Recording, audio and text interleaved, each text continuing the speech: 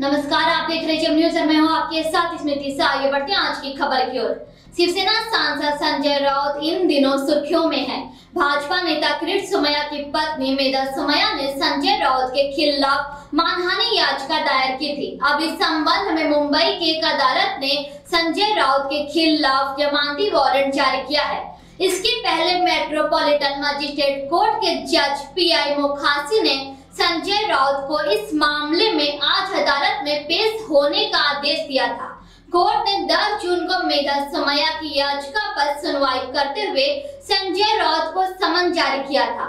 उन्होंने अपने आदेश में कहा था रिकॉर्ड पर प्रस्तुत किए गए दस्तावेज़ और वीडियो क्लिप को देखकर प्रथम दृष्टा पता चलता है कि आरोपी ने शिकायतकर्ता के खिलाफ अपमानजनक बयान दिया है, ताकि इसे बड़े पैमाने पर जनता देख सके और इसे अखबारों में जनता द्वारा पढ़ा जा सके। मानहानि की सामग्री देखते हुए प्रथम दृष्टा इस्तेमाल किए गए शब्दों से मेधा सोमैया की प्रतिष्ठा को ठेस पहुँचती है। मेधा सोमैया के वकील विवेकानंद गुप्ता ने बताया कि न तो राउत और न ही उनके वकील अदालत में पेश हुए। गुप्ता ने कहा, इसलिए हमने उनके खिलाफ वारंट जारी किए जाने का आवेदन दिया, जिसे अदालत ने स्वीकार कर लिया। बाद में अदालत ने मामला स्थगित करके सुनवाई के लिए 18 जुलाई की तारीख तय की। बता दें कि संजय रावत ने किरीट सुमैया की पत्नी मेधा पर मीरा भयंदर इलाके में 100 करोड़ रुपए के शौचालय घोटाले का आरोप लगाया था। राउत ने कहा था कि मेधा सुमैया ने मीरा भयंदर नगर निगम द्वारा अपने अधिकार क्षेत्र में शौचालय बनाने के लिए आवंटित धन का कथित तौर दुरुपयोग किया। उन्होंने अपने गैर सरकारी संगठन युवा प्रतिष्ठान के माध्यम से इस धन को इस्तेमाल किया। इस आरोप के बाद मेधा ने संजय राउत से अपना बयान वापस लेने और सार्वजनिक तौर पर माफ़ी मांगने के लिए कहा था।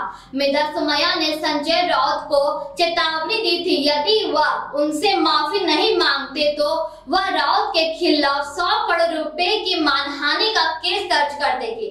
संजय राउत ने न अपना बयान वापस लिया और न ही माफ़ी मांगी, जिसके बाद मेधा ने उनके खिलाफ मानहानि का मुकदमा दर्ज करा दिया। आइए सुनते हैं क्या कहना इस विषय में भाजपा नेता किरीट सुमैया का।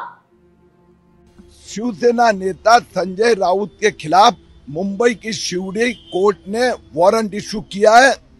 मेधा किरीट सोमैया सौ करोड़ शौचालय घोटाले का जो आरोप किया था न उद्धव ठाकरे, न संजय राउत सौ पैसे का हिसाब नहीं दे पाए। आज उनकी कोर्ट में पेशी होनी थी। उपस्थित नहीं रहे। इसके लिए संजय राउत के खिलाफ वारंट जारी कर दिया गया है। 18 जुलाई को अगली सुनवाई होगी। तो ये थी आज की खबर इस तरह की और खबरों में बने रहने के लिए देखते रहिए न्यूज़